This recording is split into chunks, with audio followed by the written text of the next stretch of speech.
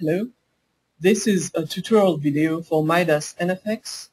I will show you today the pillow box analysis and talk about the cleanup and the various post-processing features. So this is a pillow box model and uh, the objective of this tutorial will to teach you how to clean up your ge geometrical model and also how to define a symmetric condition. So let's just uh, go into the software. So here is the designer mode of Midas NFX. So I will click on new project and import my CAD model. You can import a lot of CAD model types and I will choose this model. Open. Now the first thing I will do is to clean up the model. So I will click on simplify and when you click on find you will be able to find all the small holes in your model uh, and I will just delete these holes because they have no impact on the analysis but they will create very small mesh around the hole and it will be a bad thing for to obtain good results in these areas.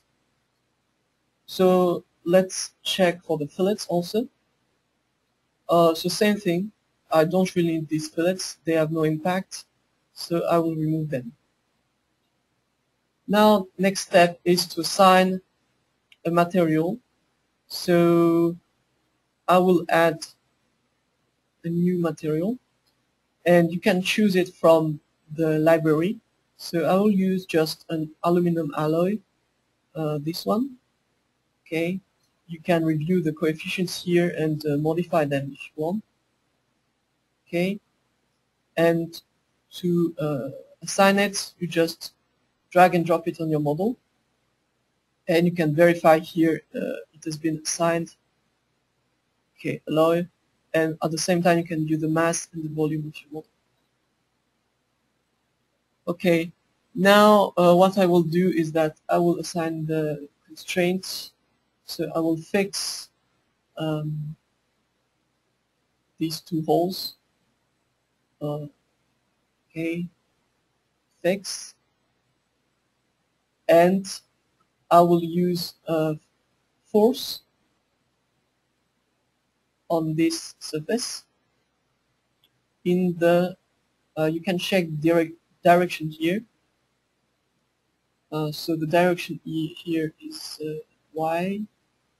And I will put a big load okay and as you see it's a dummy model. So I will have to assign a symmetrical condition. So let's uh, select support here. Just have to select these two faces. Select symmetry and OK. Now you just have to mesh it. So click on auto mesh. Uh, you can select some more advanced options like the high order elements uh, okay? I didn't even saw the meshing it was too fast. Uh, here you see your model. Now create the analysis case. Clicking on general.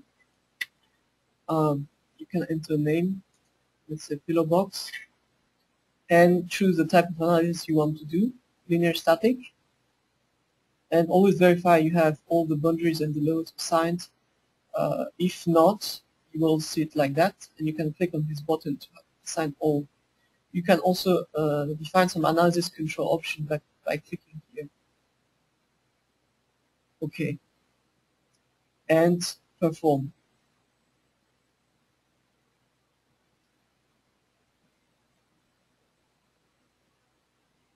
Now the solver will solve uh, this analysis.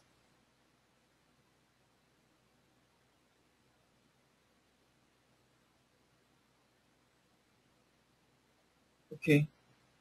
Now you can watch your results uh, in the Analysis and Results tab on the left. You have three basic results, the total displacement here. So you can view the minimum and maximum uh, on this graph. And um, as it's a semi-model, you can view the full model by clicking on mirror plane, then select uh, the mirror plane. If you want to see uh, the deformation and compare it with the, the undeformed shape, you can activate this function. And if you want to see it bigger, you can auto scale to increase the deformation. You can also view the animation by clicking here. Let's look at the solid stress also. So it's very interesting because you can zoom on the areas where the stress is happening. So you, you see around these holes, in this part, I have a lot of stress. And uh, you can use the ISO value to show you uh, where the stress is mainly happening. So you can view here in this model, the stress is important in this area so what you can do also is to draw a curve, a diagram. So here on curve, you can select two points on the model and view um, the, the for me the stress here is increasing uh, like that on this part and the maximum of the value is in this place. If you want to check the value uh, at some precise point, you can use the probe tool and uh, just select uh, the places uh, ah, this is the symmetric shape. Yes you have to select it here.